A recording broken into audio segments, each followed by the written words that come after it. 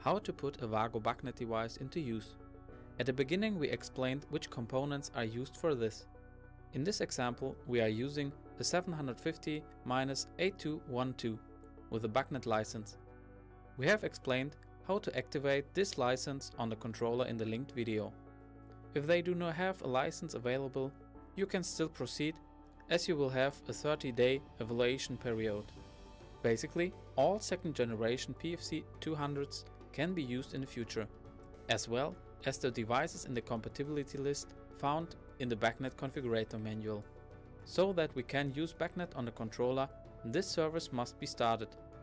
For this, we change to the web-based management of the controller and navigate here to Fieldbus BACnet configuration.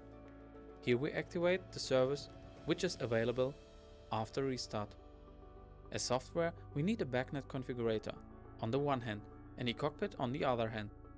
In the BACnet configurator, we have to adjust the backstack before using it for the first time. We start the configurator and navigate to Extras BACnet settings.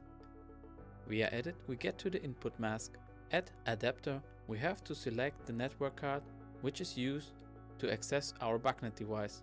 Now we have select the IP address of our computer at IP address. After everything has been confirmed, the backstack is restart after query. In eCockpit, we add the controller to our project. Now we enter the IP address under the settings tab of the controller and give our controller a name.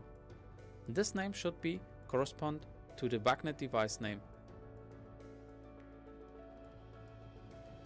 Afterwards, we let's scan the controller. Now all modules are scanned and can be taken over into the project with the button Apply All. In preparation, we still need the BACnet plugin. This can be installed via update and add-ons. We also need the WagoSys BACnet library, which we integrate into our project using the library manager. Now that all components are ready to use, we stay and start any eCockpit. In network view, we can select our controller with a double click and navigate to its modules. At this point we have the possibility to give names to the channels. These will be used in the future caused by the BACnet configurator as object names for the generated BACnet objects. If the name is started with an underscore, this is taken over in the configurator as the object name without underscore. If no underscore is used, the configurator inserts the slot and channel numbering as a prefix followed by the assigned name. It should be noted that the name must be IEC 61131 complaint.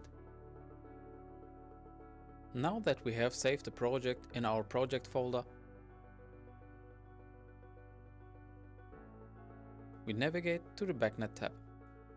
With a click on the button the configurator opens with the import IO configuration window.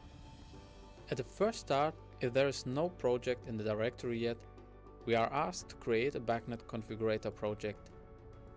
The name of the eCockpit project is used. Then a new device must be created via Create New Device. At each further start of the controller, the corresponding controller will be displayed. However, this only works if the name of the controller in eCockpit is the same as in the configurator. Now a device ID must be assigned, which may only exist once in the network. Now you can select modules you want using the usual options. At this point we also find the names given before in the control configuration as designation for the new BACnet object to be created. With pressed Ctrl key, Single positions can be selected in this list. Control plus the key A make that everything is selected. If you want to avoid that the not selected data points are created, this hook must be deselected at the next opening. For the objects to be created, function blocks are generated in one of the three characteristics, small, medium or large. These differ in the extent of the contained BACnet properties. Which properties are included in which version can be found in the application note. With a right click on the selected positions, we add the data points in the desired characteristic and confirm with OK. Now we would like to create a few more values. To do this, right click in the tree view on the left and select Add Objects. In this window we select the object type analog value, give it a name and select the value medium. If you don't know exactly which characteristic you need, you can see how the checkboxes in front of the properties change by selecting the different characteristics in the right window. We stay with medium and confirm this window with OK. The further possibilities of this window will be explained in a later video. With the button Sync to eCockpit and Store and Download, we can finish the configuration in the BACnet configurator. Back in the cockpit we see that a folder BACnet has been created, which contains the previously selected data points.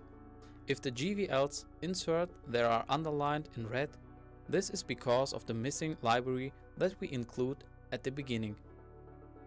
The linking of the variables from the PLC configuration is done in the program BACnet HV mapping.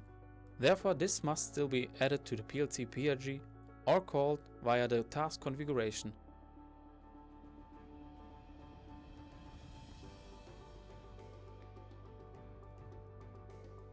We find the created analog values in the folder BACnet objects in the GVL BACnet analog value objects. Then we go to the PLC PRG and insert analog value with the property R present value by using F2. Afterwards, a variable is assigned and created via the declaration window. In this example, we show the cyclic writing of the present value if you want to write only on a value, change or priority control, you can use the code example for the application note WagoSys BACnet. In the control configuration, it can be seen that variables have been entered here for the individual channels. If the names were not assigned before, variable names are entered in the control configuration for the individual channels. Finally, we check the configuration by a simple I.O. check. To do this, we can connect to the controller, switch to the configurator and activate our first digital output here as a test.